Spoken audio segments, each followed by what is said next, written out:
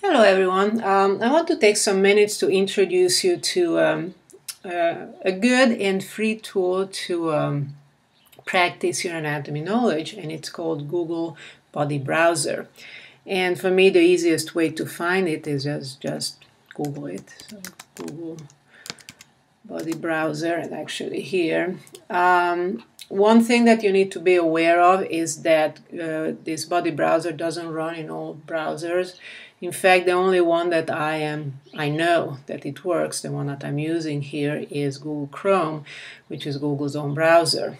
Um, I like Chrome most of the time, and uh, it is free. There, there are some programs that don't work so well with Chrome, but that seems to be the case with all browsers. There is no one browser that works best for everything. So, considering that this is a free program, um, you know, I would consider installing uh, Chrome. Or I, I, know I have tried Firefox and Explorer, and Google, but it doesn't run on them. I, um, I would guess that maybe in some Mac, like Safari, it's probably that it runs, but again, I'm not aware of all of them.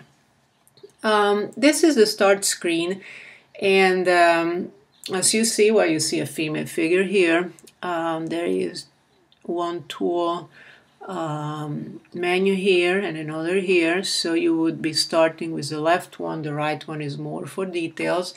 And the first thing that you can change if you prefer a male figure, so you can change between males and, and female figures here. Um, uh, this menu to the left is going to let you control which systems can you observe. And I personally really like um, here in the bottom you have these uh, two switches, one slider, many sliders. So I usually go for many sliders. So the systems here, integumentary, muscular, skeletal, digestive, cardiovascular, lymphatic, and nervous system, they all have their own slider and then as you move to the left they fade away and then disappear and I will start just this introduction with uh, uh, showing um, an example of skeletal. There is also um, a little control panel here for movement which you can do here or you can do also just using your mouse so by using the you can scroll um, in order to zoom and you can use your so if you press left mouse button and turn left to right. You can rotate or move up and down. The hardest thing to achieve with this program for me is the centering that you have whatever you're observing in the center. It can be done but it's not always that easy. Um, this this is a beta application so it's still being uh, you know developed. Um, so this is what you do in the left panel and I'm starting with bones because this is basically the, the, you know, the, the, the I say that the, the framework for the scaffold for everything else and um, usually we start everything with bones and then we move on to muscles, cardiovascular and so on. So for instance, if you are going to look at how um, a joint works, you need to understand how the bones are connected, how tendons and joints are um, ligaments in the middle. Then you will add the muscles to understand how the joint moves, um, blood vessels, how the these, the tissues are being uh, supplied with oxygen and nutrients, and very importantly, then the nerves, which would determine um, how this uh, specific joint is going to be innervated and also if there is any problem you may have a nerve being pinched or affected so it also helps to understand pathologies. So once you want to go close have closer looks you can do different things. Here on the right hand side there is a pin and a hide um, option. The pin means that if you click on something so I just click on the scapula um, it becomes pinned. So if, for instance, you want to have a closer look at the scapula without having all the other uh, structures in the middle, you can simply uh, move your slider to the to the left of the for the skeletal system, which will fade the bones and then will allow you to uh, observe the scapula closer. You can also, if you want, then add muscles or nerves if you want to explore how this connection works. So this would be the, the pin version. If you want to go back, you just um, click again. That would unpin whatever you have and then um, you can bring it back just moving the slider.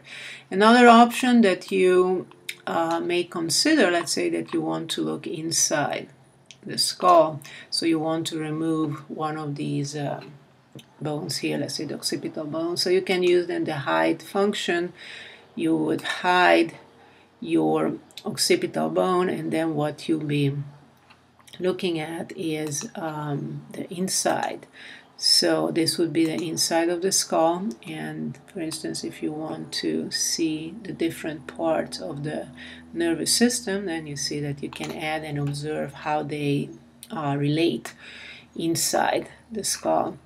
There are options also to rotate so once you have pinned and you're looking more in detail you can um, you know make a little bit more um, detailed or not not detailed but fine rotations so you can observe from different angles.